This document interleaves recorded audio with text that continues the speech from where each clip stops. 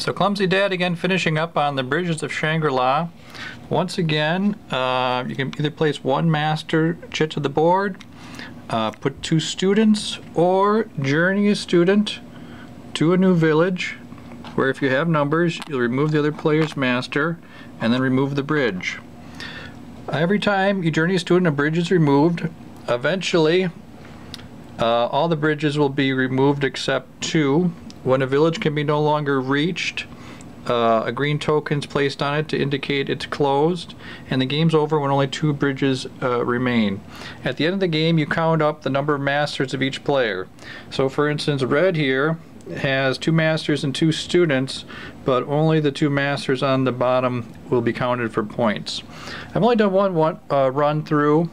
Um, I think the game could be a little bit AP inducing. There's a quite a bit to consider. Um, but overall, it's uh, kind of elegant in its simplicity. Um, and um, I hope it's been interesting. I think this is the first review for the game on YouTube as I'm aware. Uh, so hopefully you'd come back to this channel for some updates. I'm not going to do many full game run-throughs if this qualifies as a full game run-through. Mostly kind of short reviews, discussion, some lists, some chat, and uh, hopefully some humor um, if I can find some again. But uh, let me know. We're going to be doing a uh, giveaway later this month for a nice tabletop game. And uh, hey, have fun. Thanks a lot. We'll talk to you later.